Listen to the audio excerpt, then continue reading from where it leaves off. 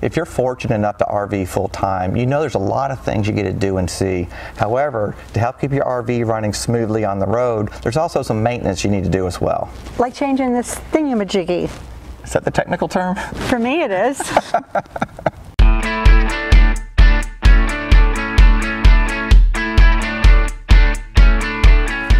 Since I keep pronouncing the anode and rod, I'm going to get behind the camera and we're going to let Danny take it from here. Steven Spielberg. I'm doing you all a huge favor. Before we get going though, I would like to ask you to please subscribe to our channel if you haven't done so yet. Don't forget to hit the like button, subscribe to our channel, and please leave us comments. We'd love to hear from you guys. So let's get into this video. What we want to cover today is a little bit of maintenance on your hot water heater. And what we're trying to do is maintain or prolong the life of our water heater. If you're not familiar with them, these water heaters have something called an anode rod in them. And what they are, they're basically a sacrificial lamb. When you're hooked up to water, you have water running through your hot water heater, it has minerals in it. And that causes rust and the, basically the shell of your water heater to, to rust. So what these anode rods are doing, they're sacrificial lambs they rust and corrode before, to help protect the shell of your water heater. So that's what we're going to do today. We're going to replace our anode rod. We're also going to use this little hose connector to help flush out any sediments in the bottom of our RV. And we're going to use a 1 and a 16th inch socket to pull our anode rod out. Now before we do any of this out here, there's a couple things we have to do inside the RV. We want to make sure we relieve all the water pressure to our hot water heater. We want to make sure there's no hot water in the hot water heater. And we also want to turn off the electric and the gas to the hot water heater. Once all that is done, then we can come back out here and we'll replace our anode rod. So let's jump inside the RV, make sure everything's turned off, and we'll also relieve the water pressure as well. So before we get started outside, there's a few things we have to do inside. What we're going to do here is we're going to check our electric water heaters turned off, also our gas water heaters turned off. As you can see, these are both off. And the last thing we're going to do in here is to relieve any pressure in our water system and we can actually turn the hot water heater circuit breaker off if we wanted to. However, there's also a switch in the hot water heater. We can just turn it off out there as well. So these are both turned off. Now we're going to relieve any pressure in our water system. We'll do that from the kitchen sink. And what we're going to do is we're going to open up both the hot water and the cold water as well. So let's go ahead and do that right now. The last thing we're going to do inside is we want to relieve the water pressure to our system. This is as simple as opening up a, a, faucet, a valve. You also want to make sure you're doing hot water and cold water. Now we're mooch docking right now, so I don't even have any water connected to the RV. That's why you don't see anything coming out of here at all. However, if you were hooked up to, or dry camping, you had a water pump on, you want to make sure you turn your water pump off as well. If you're connected to city water, you'd either want to make sure you turn the city water off or completely disconnect it from your RV. So I think we're good in here. So now we can go outside and change out our anode rod. Now that we've shut the power off inside, there's a couple things we have to do on the outside before we pull our anode rod out. We have a Suburban hot water heater. We have a power switch right here. If you can see that, we're going to go ahead and turn that off now just to be safe. We also have a pressure relief valve and what this does, it's, it's, it's a way to relieve the pressure from your hot water heater. So what we want to do is we want to relieve any pressure before we pull the anode rod out. Now, a word of caution if you have hot water in here, you have a chance of, you know, scalding hot water hitting you. So make sure you have, there's no more hot water in your hot water heater. You can do this in a couple of ways. You could actually turn your hot water heater off, go inside and run your hot water until it's cold. In our particular case, we don't even have water connected to our RV right now and it's been sitting for about 48 hours. So there's, there's definitely no hot water in here. Another quick tip, in case you've run into the same issue that I just ran into, this little cleaning nozzle. We just ordered this. It came in from, I believe it was Amazon. I had a little crack in here, so this whole thing would just slide. It's basically useless.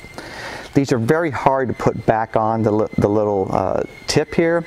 So what I did is I took one of those little, basically like a fire lighter or a, a, a lighter. I warmed this up just a little bit, not enough to melt it, just enough to make it a little bit more flexible. Then I was able to push it back on the knob here. So just in case you have the same problem, quick way to fix these. Now that we have this off, let's go ahead and we're going to relieve the pressure. Hopefully I don't get too wet.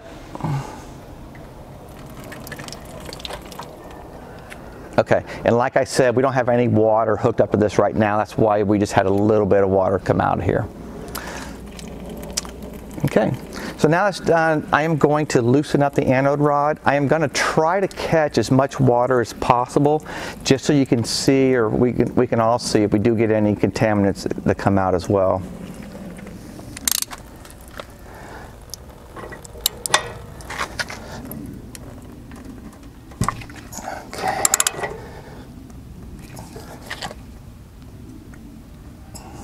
Now again, this is a one and a 16th inch socket and I have about a six inch extension on this as well.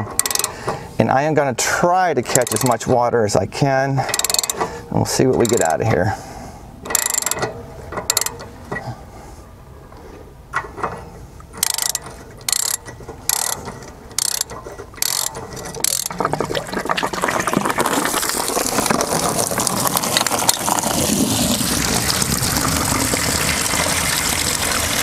Now this does hold 12 gallons. There's no way we're gonna collect all 12 gallons, but we'll see what we get out of it.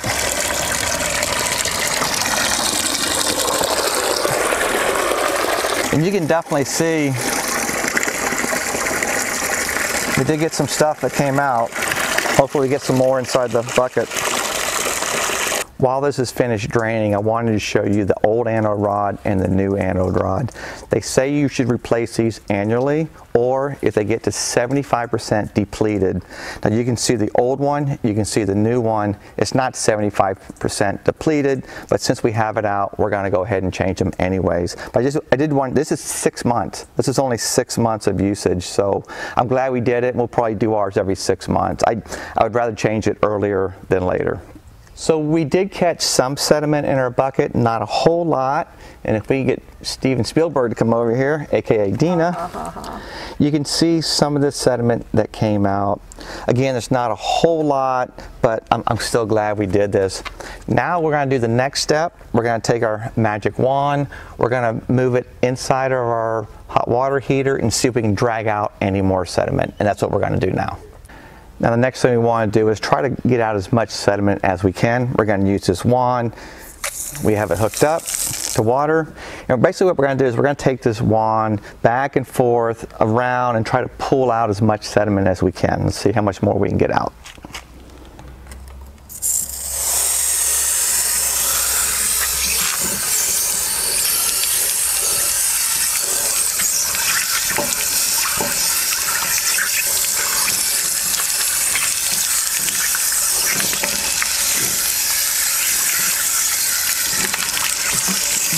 And we did that for about two to three minutes, or you can do it until you don't get any more sediments coming out. We're gonna let this finish draining, then we'll just put our new anode rod in, we'll be good to go. One thing to be aware of, this is a magnesium anode rod. They also make aluminum anode rods. I believe the aluminum lasts a little bit longer, but I just thought magnesium sounded pretty cool, so we got this one. Also, one thing to be aware of, this does have plumber's tape on it. If you do happen to get an anode rod without plumber's tape on it, make sure you put some on it. This will help stop some leaks. So let's go ahead and install it.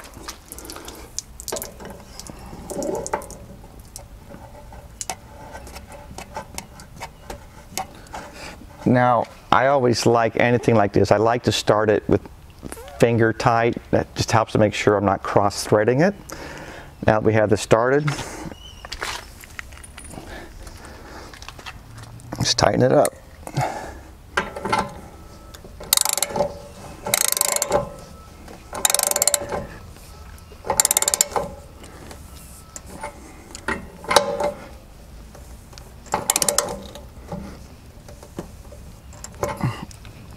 Now I got this pretty snug. You don't want to gorilla tighten this. You don't want to break something, but it's very snug.